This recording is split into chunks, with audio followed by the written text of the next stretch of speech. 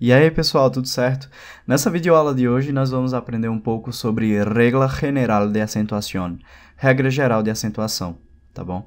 Então vamos observar algumas coisas como o acento agudo, ele é chamado de tilde. Então, o que em português a gente chama de acento agudo, né? Em espanhol a gente chama de tilde, tá bom? Não existem em espanhol é, como acento o tio o acento indicativo de crase e o circunflexo, tá? Então não existem esses sinais gráficos aqui no espanhol. Aí talvez você diga, ah, mas eu já vi no espanhol isso aqui, ó. É, mas isso aqui não é um tio, tá? Isso aqui faz parte do desenho da letra. Isso aqui é a letra N. Inclusive é uma letra que não existe no alfabeto português. Então, N é uma letra. Isso aqui, esse coisinha que parece um tio, na verdade faz parte da grafia do desenho da letra. Assim como, por exemplo, no I a gente coloca um pontinho, um pinguinho em cima, assim no N a gente coloca esse, essa coisinha, essa cobrinha aqui em cima, tá bom? É, continuando. Em espanhol existe o trema, né, o que é chamado de diéresis, mas ele não está associado à tonicidade. Né? O trema são aqueles dois pontinhos que atualmente não, não existe mais na língua portuguesa, mas que eram colocados sobre é, a vogal U para indicar que ela era pronunciada, né, o fonema dela. Por exemplo, na palavra portuguesa pinguim, antigamente a gente tinha os pontinhos aqui em cima do U, o trema, para indicar que esse U é pronunciado, né? Pinguim. Diferente de quando eu falo, por exemplo, Guilherme. Quando eu falo Guilherme, o U não é pronunciado, né? Gui. É diferente de Gui. Mas aí, em português, isso deixou de ser usado, mas no espanhol continua sendo usado. Então, a gente tem, por exemplo, na palavra pinguino, em espanhol, a gente tem a presença do trema, do diéresis, tá bom? É, continuando, de modo geral, palavras monossílabas não são acentuadas em espanhol. Por que eu coloquei assim de modo geral?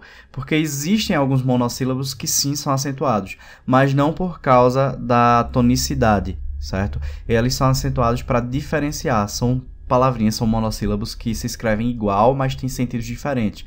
Por exemplo, é, el e el. El sem acento significa o em português, é o artigo né? artigo definido. Já ele com acento significa em português ele, o pronome pessoal do caso reto. Né? Então, se você quer conferir essas palavrinhas, esses monossílabos, você assiste ao vídeo no meu canal que se chama Tilde Diacrítica. Então tem aqui no meu canal, vou deixar aqui em cima no card para vocês conferirem é, a, o vídeo sobre tilde diacrítica, que seria o acento diferencial. Bem, no espanhol, a gente separa as palavras e aí de acordo com a sílaba tônica, as palavras elas vão ser classificadas da seguinte forma. Em, elas vão ser classificadas em agudas, graves ou llanas, esdrúxulas e sobresdrúxulas, tá bom? As agudas em português são chamadas de oxítonas. As graves ou llanas são chamadas de paroxítonas. As esdrúxulas são chamadas em português de proparoxítonas. As sobresdrúxulas, elas não têm um nome em português, um nome específico, tá certo? Mas elas acontecem é, em alguns casos do português também. Vamos ver aqui uma explicação mais detalhada do que seria um oxítona, o que seria uma paroxítona, uma proparoxítona. É, as palavras agudas ou oxítonas são aquelas que, é, quando eu separo, imaginemos que isso aqui é uma palavra. E cada quadrado desse que eu coloquei aqui seria uma sílaba da palavra, tá? Então, quando a última sílaba é a mais forte, né? Então, no caso, se essa aqui da palavra que tivesse quatro sílabas, se essa aqui fosse a mais forte, a última, a gente chama de aguda ou oxítona, tá? Então, quando a última sílaba é a mais forte, a gente chama de oxítona. É, as palavras graves ou llanas, que em português são as paroxítonas, são aquelas palavras que a sílaba tônica ela é a penúltima sílaba, tá certo? Então, quando a penúltima sílaba é a mais forte, nós chamamos essa palavra de palavra grave, llana, ou em português, paroxítona. As palavras esdrúxulas, que em português são as proparoxítonas, a sílaba mais forte é a antepenúltima sílaba, tá certo? Então, quando a antepenúltima sílaba é mais forte, a gente chama essa palavra de palavra esdrúxula, em espanhol. Em português, chamamos de proparoxítona. E a sobresdrúxula, que a gente não tem um nome específico em português, a sílaba mais forte é a pré-antepenúltima, ou seja, a que vem antes da última da antepenúltima.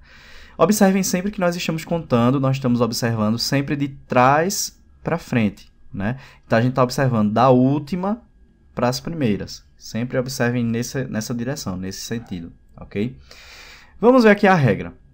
A regra diz que as palavras agudas, as oxítonas, em espanhol elas se acentuam quando elas terminam em N, em S ou em vogal, tá bom? As palavras é, graves ou llanas, as paroxítonas, elas vão ser acentuadas quando elas não terminarem em N, S vogal. Percebam que ela é o contrário das agudas. Enquanto que a gente acentua as agudas quando terminam nisso aqui, as graves só vão ser acentuadas se elas não terminarem nisso, tá? Então, se um aguda termina em N, a gente acentua. Mas, se a grave terminar em N, não acentuamos, tá? É, a regra das esdrúxulas é muito fácil. Acentuam-se sempre as esdrúxulas. Todas as esdrúxulas são sempre acentuadas. A mesma coisa funciona para as sobresdrúxulas. Todas elas são sempre acentuadas. Essa é uma regra que também existe no português, é a mesma, né? As palavras proparoxítonas, elas sempre são acentuadas no português. Vamos ver alguns exemplos de frases, para ficar mais fácil. Nós temos aqui palavras agudas. Então, vimos que as palavras agudas são acentuadas quando terminam em N, S e vogal. Vejamos essa primeira palavra, balón. Na palavra balón, a sílaba mais forte é lon. Então, ela é realmente uma oxítona, uma aguda. Por que é que ela recebeu o acento? Porque ela é uma aguda que terminou em N. E a gente viu que as agudas que terminam em N são acentuadas. Vejamos outra palavra. Café. Café, a sílaba mais forte é fe, então ela é uma oxítona, uma aguda. E aí a gente observa que ela foi acentuada, por quê? Porque ela é uma aguda que termina em vogal, tá bom? Vamos ver outra palavra. Eu tenho a palavra Jesus, né? Jesus em português. Então, Jesus também é a última sílaba mais forte, então é oxítona, né? A palavra aguda. E ela foi acentuada, por quê? Porque ela terminou em S. E a gente viu que quando ela termina em S, a gente acentua. Rubi. Rubi também a gente observa que é uma aguda terminada em I. E I é uma vogal. Então, se é uma vogal, é acentuada. Vamos agora ver uma observação. A gente não deve acentuar as agudas que terminam em S quando antes dela né, vier uma consoante. Vê, a regra geral diz o quê? Que eu devo acentuar as agudas que terminam em S.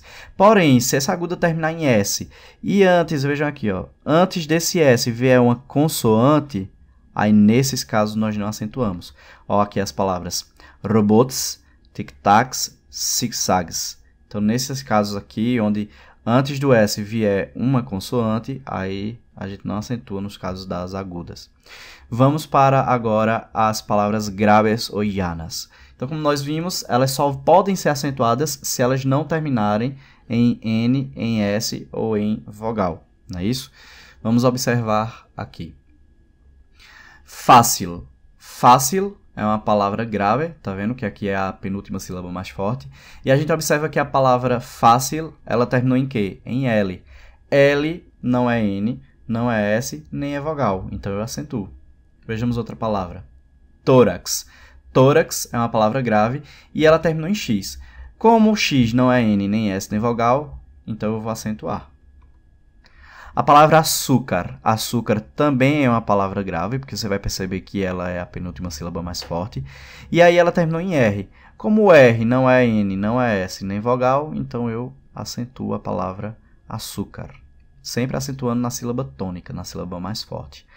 Colegio. Colegio terminou em O. Como terminou no IO e O é vogal, então a gente não pode acentuar, tá certo? A mesma coisa vai acontecer com família. Em família, a gente tem aqui, ó, terminado em vogal. Grave, Odiana, terminada em vogal, não se acentua. Vejamos mais outra. Pátio. Pátio também é uma grave que terminou em vogal. Se terminou em vogal, a gente não vai acentuar, tá certo? Se terminar em N em S e vogal, a gente não acentua as palavras graves. Uma observação aqui.